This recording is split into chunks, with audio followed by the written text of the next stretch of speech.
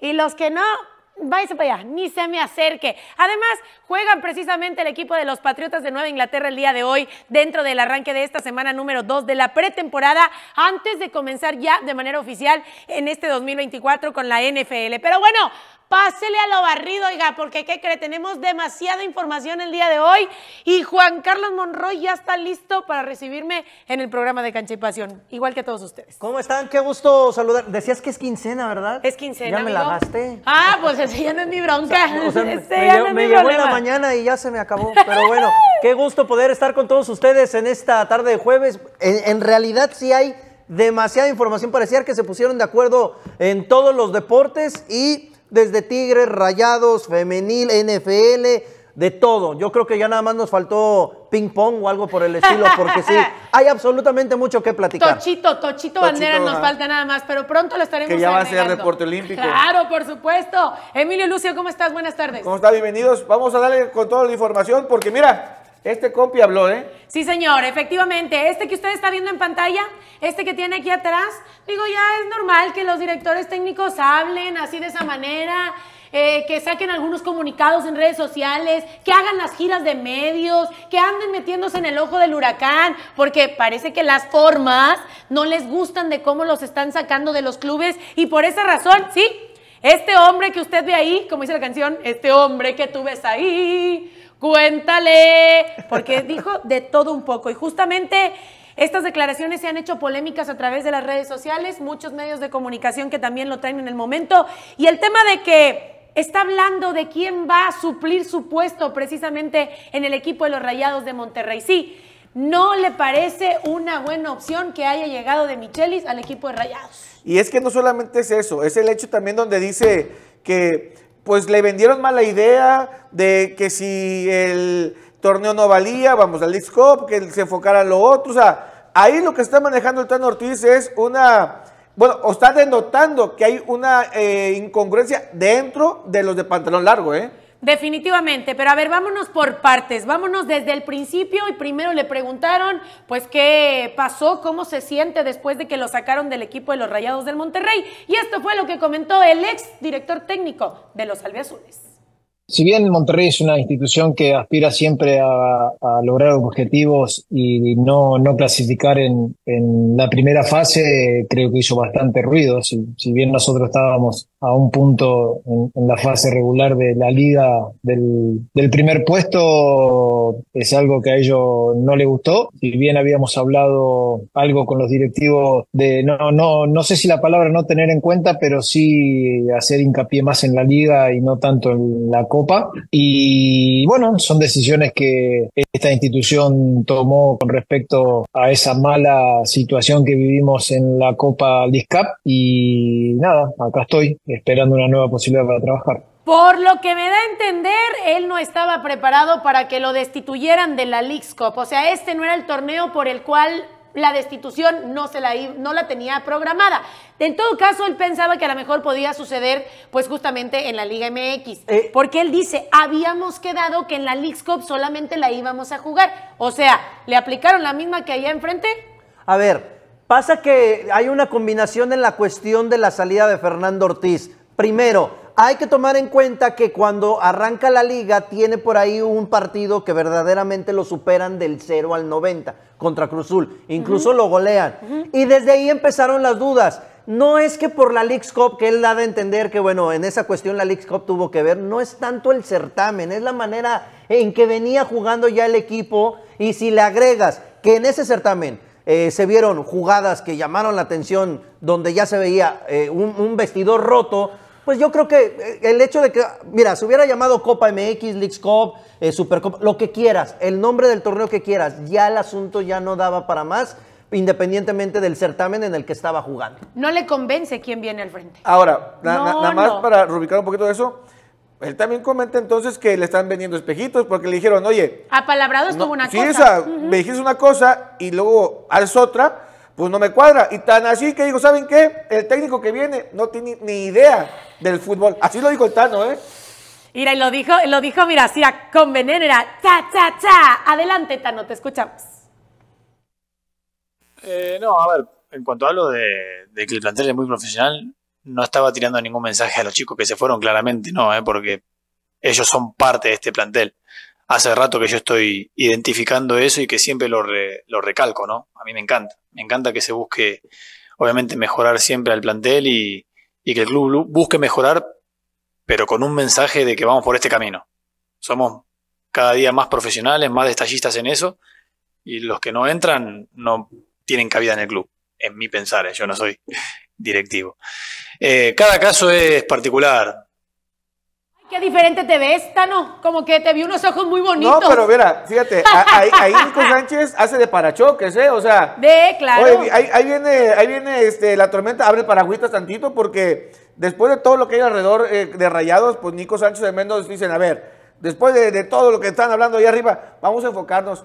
Ahorita viene Pueblita. Sí, sí, la bronca que traigan allá ustedes entre el Tano, la directiva, el Tato de Michelis y demás, bueno, ahí las cosas, las cosas están ahí como que modificándose, ¿no? Pero pues finalmente, pues Nico dijo, tranquilos, nosotros pues enfocados, porque el club definitivamente sigue haciendo lo suyo. Ahora, me preocupa el hecho de cómo dice las cosas el Tano Ortiz al respecto de, de Michelis, porque justamente eh, eh, hay situaciones en las, que, en las que da a entender que él no está preparado para venir al club como tal, o sea, como si se sintiera celoso o resentido de la manera en cómo literalmente pasó eso. Mira, fíjate, en ese sentido hay que ser muy puntual en dos cosas. La primera, obviamente es un tipo de, vamos a decir de esa forma, ardidez, porque pues, ah, insisto, eligieron una cosa y hicieron otra y otra.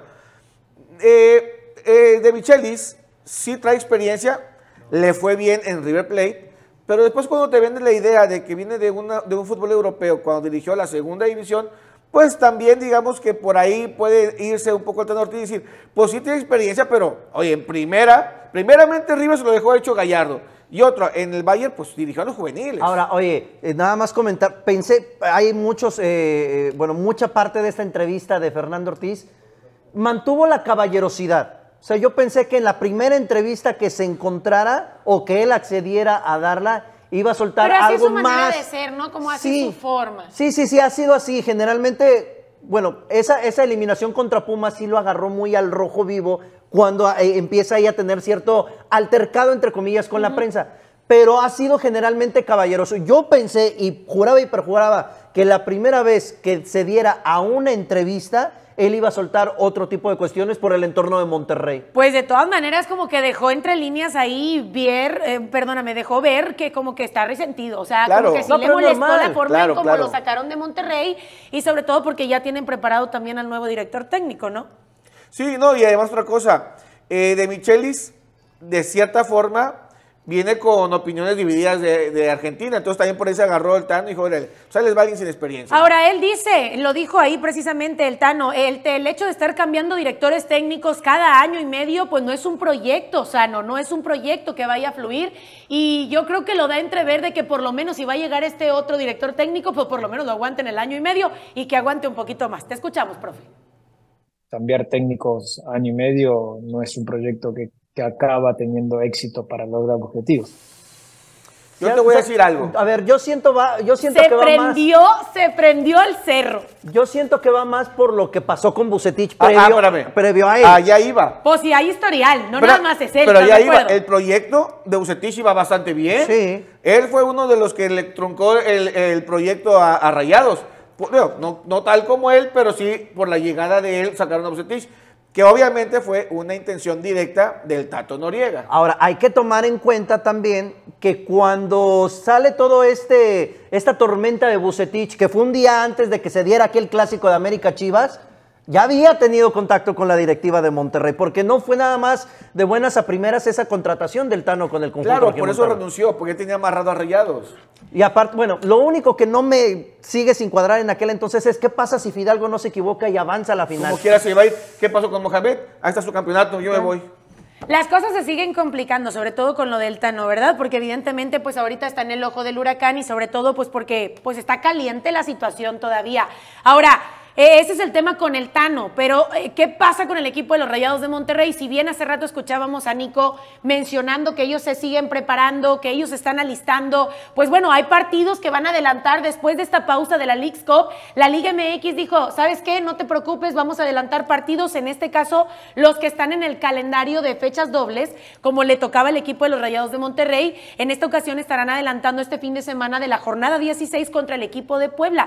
Y Nico, pues sigue fungiendo todavía como el técnico interino mientras se establecen ya las cosas bien con Monterrey. De hecho, en el sentido estricto, este va a ser su debut como técnico, porque aunque Hugo Norto Castillo es, digamos, la cabeza, no va a estar en el banquillo dirigiendo, como si lo va a hacer Nico Sánchez, y anteriormente estaba, pero como auxiliar. Como auxiliar.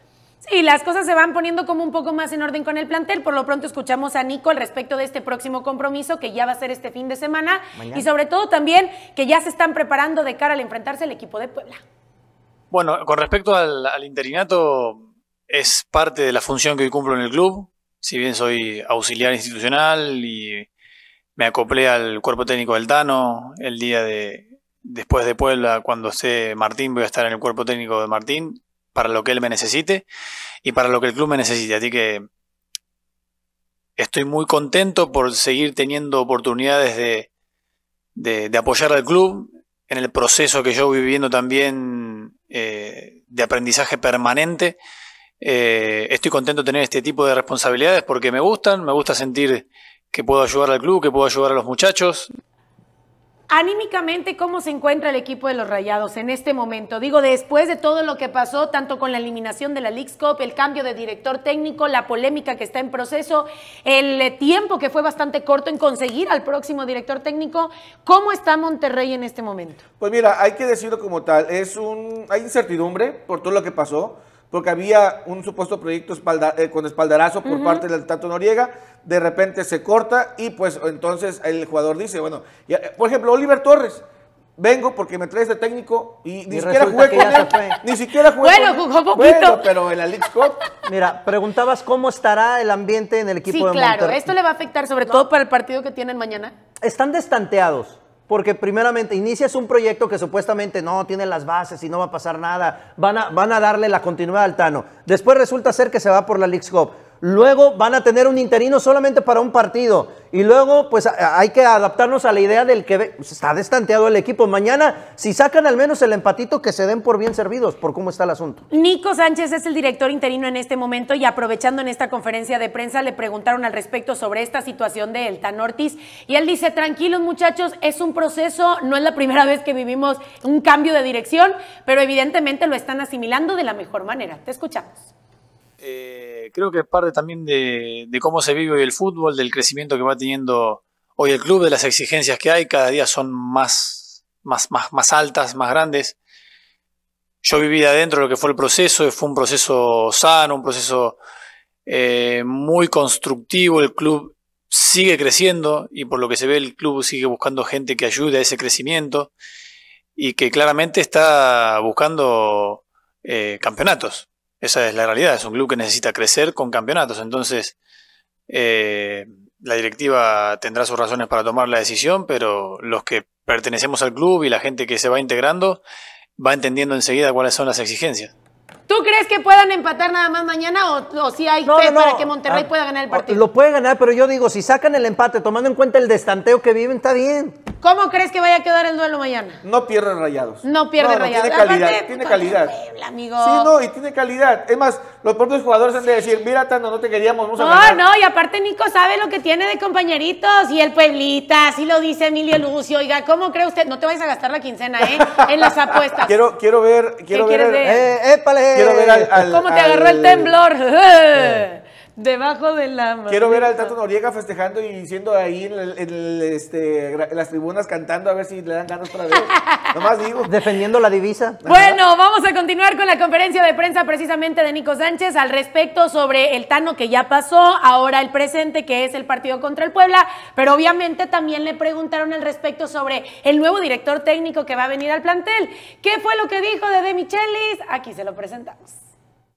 Sí, bueno, con Martín ya tuve comunicación y él es muy respetuoso, no quiere meterse en esta semana para no confundir a, a los muchachos, así que mm, esa información que hoy necesita Martín de los jugadores, eh, creo que con él y los entrenadores que hay hoy en día ya no hace falta, ya están empapados eh, de lo que es el plantel en general. Después, bueno, profundizaremos obviamente y yo ayudaré a que él eh, más rápido a conocer a, a los chicos más profundamente, pero en cuanto a conocer el plantel, creo que ya lo sabe de sobra. Nico no estaría con la cosquillita de quedarse como director técnico, o sea, no le gustaría a él, digo, yo sé que pues por si por él fuera, pues obviamente se quedaría ahí, pero pues a lo mejor las circunstancias no son las mejores en el plantel. Mira, él es institucional, por lo tanto, quizás es muy probable de que lo vayan a poner ahí con el cuerpo técnico. Hay que recordar que a veces estaba en el palco como para Sí. hacer su análisis y de esa manera, pues quizás irlo preparando a él en una eventual posibilidad en el futuro. Ahora, si algo es cierto es que Nico conoce perfectamente el plantel, a pesar de todas las salidas que se han dado, mencionó al respecto de que los movimientos que se están desarrollando en este momento son para las mejoras del conjunto albiazul. Lo escuchamos. Eh, no, a ver, en cuanto hablo de, de que el plantel es muy profesional, no estaba tirando ningún mensaje a los chicos que se fueron, claramente no, eh, porque ellos son parte de este plantel. Hace rato que yo estoy identificando eso y que siempre lo, lo recalco, ¿no? A mí me encanta. Me encanta que se busque, obviamente, mejorar siempre al plantel y, y que el club lu- busque mejorar, pero con un mensaje de que vamos por este camino. Somos cada día más profesionales, más detallistas en eso, y los que no entran no tienen cabida en el club, en mi pensar, eh, yo no soy directivo. Eh, cada caso es particular. Si yo me meto a hablar de eso, seguramente voy a hacer alguna declaración equivocada y sinceramente no tengo nada para decirle a los chicos porque todos son muy buenas personas. Todos son muy buenas personas. Después el fútbol eh, nos pone a todos en, en- su lugar. El que se quedó, se quedó porque estaba para quedarse, otros se habrán ido porque querían, otros se habrán ido porque el club necesitaba eh, traer otra gente. Bien, Monterrey se está preparando ya para este próximo compromiso. Evidentemente las cosas están ido, más bien se han ido acomodando poquito a poquito y ya están esperando solamente la incorporación de este nuevo director técnico que si bien sabemos va a estar al frente, más bien va a estar en el partido presencial, pero no ni en la banca ni dirigiendo cuando se enfrenten al pueblo. Sí, mañana va a estar ya echándole ojo a ver, a ver qué desastre le dejó el Tano, es lo que va a analizar el día de mañana eh, Martín de Michelis. ¿Le darán una semita ahí en, eh, en- el Estadio Cuauhtémoc? Pues, Como va a estar en las tribunas, más o menos, para que se vaya acoplando al país también. Mientras no le vayan a dar un dulce típico poblano que se llama camote, todo bien. Pues de Michelis ya salió de su país, ya viene para México, ya fue captado en el aeropuerto despidiéndose de sus seres queridos, viene con todo el equipo del staff técnico que estará justamente con él en el plantel, que estarán iniciando esta aventura con el plantel de los Rayados de Monterrey y hay que destacar que pues bueno, evidentemente es una nueva aventura para ellos, es un nuevo proyecto y demás. Pero claramente él no sé si sabe a lo que viene precisamente cuando ya llegue a Monterrey. A ver, si ya dirigió a un equipo como River Plate, donde las cosas son presión, todavía sí. más radicales que aquí, eh, va, va- va a saber y va a estar consciente de la presión mediática, de los aficionados, de las redes sociales. En ese sentido, es una muy buena opción comparada con otras que habías eh, eh, en la baraja para el conjunto de Monterrey. No comparo, pero ya teniendo un medidor como el River Plate, me supongo que ya más o menos sabe lo que viene con la Sultana del Norte. Sobre todo con la prensa, porque en Argentina, tanto Boca como River, todo el tiempo, hasta como muevas un dedo, ya lo están marcando como nota. Entonces, Sí. por ese lado ya tiene experiencia. Y ahora que se está yendo como todo un héroe, como todo un rey allá precisamente de Sudamérica, pues justamente le preguntaron cómo se sentía al ser ya el nuevo director técnico de la plantilla de Rayados de Monterrey. Escuchamos. Muy contento de que una grandísima institución como lo es eh, Monterrey, eh, post salida de, de River, haya apostado por, por nosotros para, eh, para encaminar y, ir a competir por nuevos objetivos. Así que muy contento de poder sumarme con, con todo mi, mi cuerpo técnico a esta gran institución, con un grandísimo plantel, una ciudad que tiene muchas ganas de ganar con un club que tiene una gran infraestructura, así que bueno, a aportar toda la vocación que nosotros sentimos por, por esto. A ¿no? ver, habla muy parecido al Tano. Así como con esta cordialidad, así muy, mm, eh, muy, muy presente, muy mm, formal. Espero que como habla también juegue. Usan el mismo shampoo, yo Y- creo. y- también. No, y también El mismo se, gel. se- se usa la misma ropa, slim fit, no deja respirar. Y, está- evidentemente, digo, quiero pensar que ya sabe a lo que viene en la Sultana del Norte, pero pues era la pregunta obligada que le tenías que hacer en, en todo caso si lo tenías al frente. Oh, si oh. no, ¿qué le hubieras preguntado No, tú? Si yo hubiera tenido de frente a De Michel, Ajá, ¿qué le hubieras dicho? yo le habría preguntado realmente qué cambios hará en cuanto a esquema se refiere táctico. Yo, O- yo personalmente otra, lo que yo haría. Uno que conoce el entorno, que está consciente al entorno en el que iba a llegar con Rayados después de los fracasos que hubo con... sí, o sea. Yo le hubiera preguntado por Maxi, oye, ¿se te fue? ¿Es parte de la negociación? ¿O, o fue un intercambio? ¿O cómo estuvo el asunto? Digo, por si lo tengo enfrente, ¿verdad? A ver, te escucho, profe. ¿Algo me quieres decir? Maxi se me expresó eh, eh, sus ganas de, de- de venir a River. Ya se estaba diciendo que yo había sido una traba eh, de momento, pero no, cuando hay, un- Chico, ya había dado la cuando palabra. hay una decisión emocional y hasta casi física eh, de un jugador que solo le quedaba cuatro meses de, de- de- de contrato, que no iba a renovar, que él sentía que se había vaciado en estos años que estuvo en el Monterrey. Bien, eso era lo que yo quería saber. Claramente, ¿no cree usted que esto fue programado? Que nos pusimos de acuerdo entre producción y yo para, pues, para preguntarle de Maxi, ¿verdad? Pues si yo lo hubiera tenido enfrente, sí le hubiera preguntado, oye, ¿qué onda? Bueno, Porque pero- pues Maxi fue, eh, más bien, es una super pieza importante del plantel de Rayados y, y ahora pues ya, ya se retiró, ya se fue. Pero, pero a ver, Dos, pieza tres. importante. Ah, ¿y ahora por qué no? Nada te convence, amigo, nada te No, o embona. sea, este es un jugador que hacía bien las cosas por la banda de la, de la derecha, sabía, digamos, ser extremo, pero, oye, el costo-beneficio, lo que generaba... Exacto. Sí, a ver, el ciclo, Oye, de, costó 14, 15 millones, se va por dos. el ciclo de Maxi Mesa ya había acabado. Y volvemos a lo mismo. Si no nos hubiéramos enterado en aquel entonces cuánto costó el que llegara al equipo de Monterrey, hoy estaríamos diciendo, pues cumplió, ¿no? El tipo, no, no le queda de ver ni a la institución ni la institución a él. Pero ya cuando haces cuentas de lo que costó, lo que invirtió la gente de Monterrey y lo que esperaban de resultados en él, pues yo creo que está mejor que ya, que, ya se haya ido. Y todavía muy orgulloso dijo afuera de- del Barrial hace unos pocos días. El club se queda al menos con algo de lo que pues costó mi carta. Que, que- qué descaro, por amor de Nada más, Dios. golosinas, O sea, nada más, de- o sea, porque ¿Cuánto fue? ¿Más o menos 15? 14, 15 y... Y, y le dejas a la institución dos. Maxi, neta. Güey, o ni sea. para el amaranto del metro de allá en la Ciudad de México. Sí, sí, no, o sea, esa fue una desfachatez de Maxi Mesa decir que al menos le dejamos algo al club y yo me voy tranquilo. Oiga, Caray. no, espérense, pero si estamos acribillando al Maxi muy, muy feo. Y No, y que se acostumbre. ¿eh? No, y que se acostumbre. Allá es muchísimo más radical ¿Tú todavía. crees? En River Claro. Plate y Boca, ¿Qué, qué claro. crees que le puedan decir ahora llegando al River? Porque, No, no, no voy a decir porque no lo van a bajar. bueno, espérate, no me quiero adelantar. Mira, no, nada más- sí, no me quiero adelantar. Mira, Linda, así tal cual. Lamento decirlo así, pero es así allá en Argentina. Allá los jugadores temen por su vida Claro. en algún momento. ¿Qué pasó con Di María?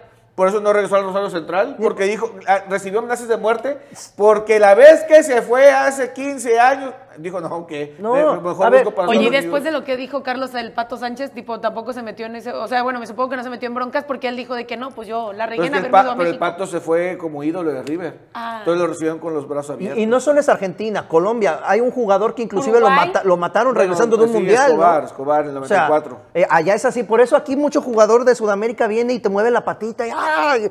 ¡Qué gran jugador! Porque saben que aquí no está ese tipo de, de- de cosas locas. O sea, me estás diciendo radical. que en Monterrey están cómodos en el plantel como tal. No o sea, que los cómodos. jugadores, pues si hacen o no hacen, pues finalmente están cómodos. No tan cómodos, porque sí hay una exigencia, pero no rebasa hasta ahora las locuras que suceden allá. Y espero que nunca. Allá ya no puedes ir a un estadio con la playera del rival. Bueno, aquí sucedió algo que por eso mucha gente ya no quería estar por ahí. La vez del Mundial de Clubes con las hieleras con rayados. o sea, ya no lleven de llegar a eso, ya. Se empieza a poner tensa la cosa, pero bueno, por lo pronto el equipo de los Rayados ya de manera oficial le dijo bye bye a Maxi. Mira, todos los broncas, que si el club, que si no me- Rayados no, y que si me dijo y que no le dijeron, y que los- el jugador hizo su trueque por aparte y que no nos avisó nada. Y después de toda esta novela, ya hoy en día Maxi fue despedido de la institución.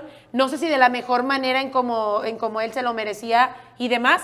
Porque hay algunos jugadores a los que les hicieron mucha fiesta, redes sociales, No, sí y tiene su video, y así. Sí, sí tiene su video. Y, y- y a Maxi, pues le hicieron su video, pero esa Inclu- era la mejor manera de despedirlo como tal. Pues hay una entrevista alrededor de ocho minutos, tú me dirás. Allá en el River ya lo presentaron, mira. ¡Ah! Ahí eh, hasta sonríe, ¿eh? Sonríe Aquí ya no sonreía. ahora. La verdad. No, pero está bien, que cuando hay nuevos ciclos, claro que vas a, a sonreír, no va a llegar con cara de, bueno, ¿y qué hago aquí? Ojalá Ya fue presentado. al Tano, porque si no va a volver a llorar. Sí, sí, ya fue presentado. Eh, justamente a- ahí están las imágenes que están publicadas en redes sociales. Y, y me preocupa cómo le vaya a ir ahora en esta nueva, en esta nueva etapa, porque pues si así como lo presentan, lo editan, pues está cañón. No, pero bueno, a final de cuentas habrá que ver cómo responde en la cancha. Estos son cuestiones superficiales, por decirlo de esta manera. Bueno, Maxi Mesa habló para los medios de comunicación mencionando todos los recuerdos bonitos que se lleva de la institución. Pues fueron muchos años con los que estuvo en la plantilla albiazul. Esto es lo que se lleva. Creo que recuerdos muy bonitos para siempre. También, obviamente, agradecer a las personas que hoy me, dieron esta oportunidad o me dejaron esta oportunidad para poder irme. Eh, entonces, también agradecer en ese sentido. Eh, y como te dije, me voy feliz y, orgulloso de, de haber pertenecido a esta, a esta institución. Bueno, esta, esta despedida, este video, esta entrevista extensa de casi 10 minutos, un documental que se aventaron por ahí en redes sociales, pues fue la que le hizo el club de despedida a Maxi, ¿cierto? Sí, que por ahí inclusive al principio dice, ay, no me hagan llorar. No, Mira. no, nos hiciste llorar a nosotros con esa declaración. Mira, me llevo Eso es lo, lo que me pasó. llevo Ay, no, bonitos. qué dolor, no me hagas Me llevo llorar. recuerdos muchos del club. Mis dos carros de alta gama deportivos. Y una casa en el casas sur de allá Monterrey. exclusi- de zonas muy exclusivas. Pero yo me voy con recuerdos muy bonitos del equipo, claro. Te voy a con- decir algo. y la parte, te tenemos una cosa.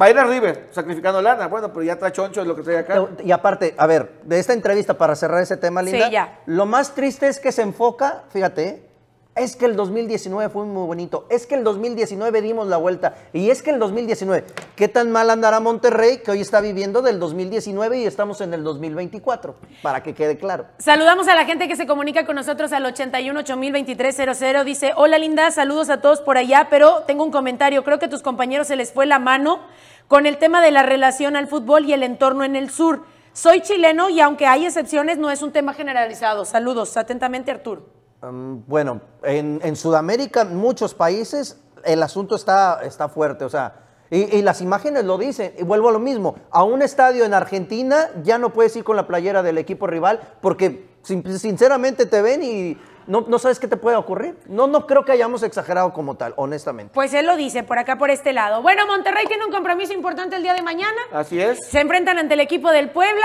Es eh, correspondiente a la jornada número 16 y según tengo entendido, el eh, Nico ya tiene plantel completo. ¿O estoy- Eh, sí, no, o sea, vamos, sí, porque Ah. está eh, Canales, que es la parte importante del equipo, pero Sebastián Vegas no, pero bueno, Sebastián Vegas como quiera, digo, sí es una buena opción por la experiencia que tiene, pero eh, hay gente que lo puede suplir. Hoy entrenó por separado Vegas, Sí, por eso, diferenciado del plantel, así que no, no, no, descartado ya, Ah, fuera, bueno, fuera de. Ah, combate. ya Sebastián está descartado. Descartado por para mañana, completo. sí. O sea, nada más, nada pues más sería la incorporación de, de- de Canales después Que- de la lesión que sufrió en la League's Cup. que afortunadamente no fue grave porque hay que Gracias reconocer que la vez pasada, bueno, el año pasado en el League Cup sí se perdió un buen rato, entonces ahorita nada más fue, digamos, un susto muscular. Muscular. Muy bien, perfecto. Pues ahí dejamos la información del equipo de los Rayados del Monterrey porque lo de Tigres. Oiga, se pone cosa de hormiga, así de ese colorcito, evidentemente, porque como bien ayer lo platicábamos en Dominio Deportivo, pues a través de las redes sociales se han viralizado ya unos audios en donde sale el Tuca Ferretti hablando de todo un poco. Mira que si el Tuca no se guardó absolutamente nada, si aquí no lo dijo estando en la Sultana del Norte fue porque tenía miedo de que algo pudiese suceder, peor que correrlo. Entonces, no, no, estaba bajo contrato, obviamente, por eso no decía ese tipo de cosas. Le tenían apalabradas lo que, lo que fuera a comentar. Pero justamente en esta ocasión arremetió contra el equipo de Tigres por cómo se dieron las cosas de la eliminación que tuvieron en esta League Cup. ¿Lo quiere escuchar? Aquí se lo presentamos. Claro. Cagajo.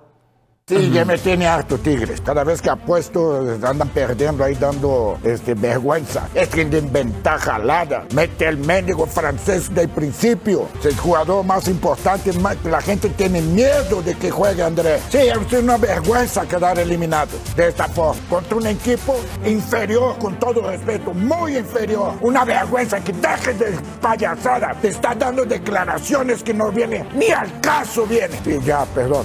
Bastante molesto como es eh, naturalmente hablando el Tuca Ferretti. Pero me encantó porque al final dice, y bueno, ya, perdón. O sea, no, pues ya soltaste, ya soltaste todo el veneno, tú ya para qué pides Ya aventó perdón. la piedrita y, bueno, escondió Oye, la mano. lo que son las cosas, ya no vive por Tigres, pero sigue viviendo de Tigres el Tuca Ferretti, ¿eh? Está bien, digo. amor apache, amor apache, está bien. Todavía te quiero. Y esas y muchas cosas más estuvo diciendo en redes sociales, claramente. Y es que el Tuca, no lo podemos negar, es un emblema de la institución felina, pasó por momentos complicados, pero pues finalmente también le dio esas alegrías que buscaba la institución. Quizás- Por quizás eso a lo el- mejor no lo olvida tan fácilmente. Quizás el proyecto más longevo, me refiero a que fueron 11 años, de, eh, a no ser, a lo mejor estaba por Tres ahí etapas. Treyes, pero del fútbol moderno, el que más continuidad ha tenido en un proyecto. Yo ¿eh? siento, yo siento que el Tuca, opinión personal, perdió más en Tigres que de lo que ganó. Y mira que tiene una época dorada. Pero siento que perdió más de lo Pudo que haber pudo ganado- haber pudo haber ganado. ganado más campeonatos. Híjole. Y sigamos hablando del equipo de los Tigres porque,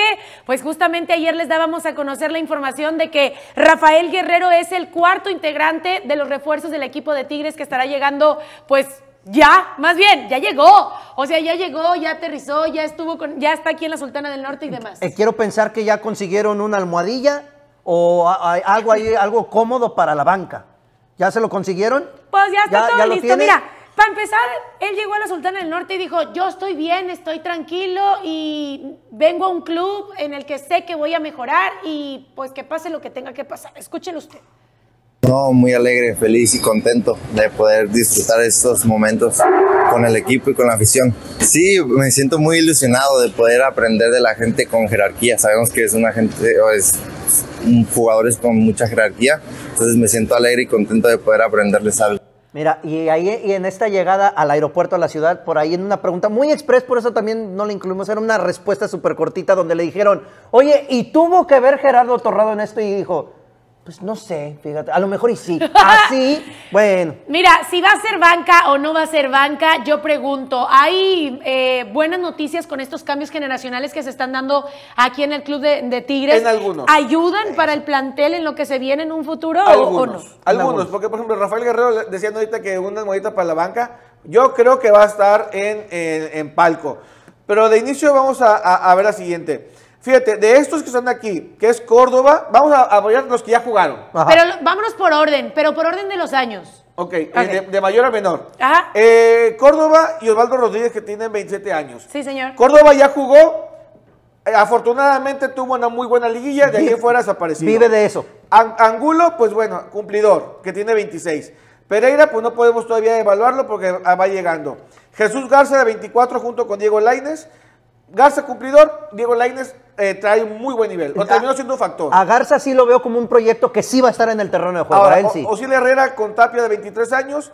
Tapia ya mostró cosas y Osiel Herrera ha ido avanzando de a poquito. Espérate, ¿qué cosas mostró Tapia? Cuando jugó se, le vio, se vio que, Ah, que ah, en tenía. la portería. Amigo, Sí, es que, a ver, especifícame, porque, No, o sea... y si se le vieron, se le vieron. las cualidades, Las cualidades. las cualidades. Claro, por supuesto. Esas Ahora- habilidades de extenderse en el arco. Ahora, Fi- Fierro y Pisuto de 22 años. Fierro como proyecto está bien. Pisuto, el eh, modelo este, de- institucional de las nuevas playeras. Rafael Guerrero, pues ah, no sabemos qué anda con él. Y Marcelo Flores, que ha venido poco a poco tomándose una posición como titular. E incluso cuando entra como revulsivo, toma las oportunidades para bien. Mira, me acuerdo mucho de una declaración de Mohamed que dice, ustedes los periodistas de repente comentan y luego lo borran. ¿Se acuerdan de esa? Que dice, ustedes lo borran, que hasta con el código. Bueno, para demostrarle al turco que no siempre es así, yo le di con todo a Marcelo Flores, porque dije, no, este chavito, o, o sea, ¿qué, ¿qué aprendió en el viejo continente? A raíz de ese partido tan platicado contra América, la neta, se ha mostrado muy bien y creo que está ya de acuerdo a las expectativas. De todos los que mencionamos, creo que es, junto con Jesús Garza, de los que mejor podrían tener un desempeño ¡Que futuro en pase. Marcelo Flores! Ah, no es cierto, no es Eh, cierto. Aquí está el café, amigo. Vente, vente. Bueno, vámonos con información del equipo de los Tigres porque ya se les acabaron las vacaciones, sí. Ya que fueron eliminados de la League's Cup y de que se fueron de rol y anduvieron allá dando algunas vueltas especiales dentro de esta ciudad de Nueva York. Ya llegaron a la Sultana del Norte, pues para reportarse con el, las, pues con sus familias inicialmente Oye. y dos también preparándose nada para más- los yo nada próximos más veo duelos. que llegan ya con bolsas de, de De lugares, shopping. sí, de shopping. Dije, oye, pues les fue bastante bien O- allá, honest- ¿no? Oye, honestamente, si nosotros fuéramos, también lo haríamos. No, no, Espérate, no, no, los brasileños todos vienen juntos.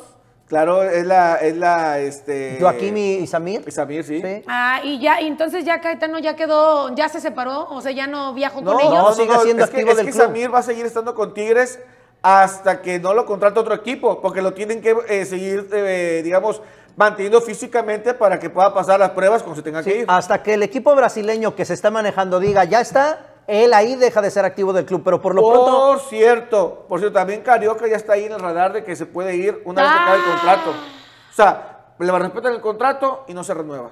Bueno, a ver, Tigres ya se está, ya llegó a la Sultana del Norte, ya lo vieron ustedes ahí aterrizando precisamente en tierras de las montañas, pero ya también están preparándose para el próximo compromiso, ¿verdad? Evidentemente la Liga MX. ¿Qué sigue? ¿Cuál es nuestro próximo rival? Pues las Chivas Rayadas del Guadalajara. Yo ya ni sé con eso de que a mañana es jornada 16, ma- pasado mañana es la 15, ya no sé ni cuál sigue. Habló, ¿qué es el secretario? El ¿O qué secretario dijiste general del, del sindicato de Tigres. Dice, dice, dice el Tuca que es el más sensato de todos. Bueno, habló Guido Pizarro al respecto de este próximo rival y también del próximo compromiso.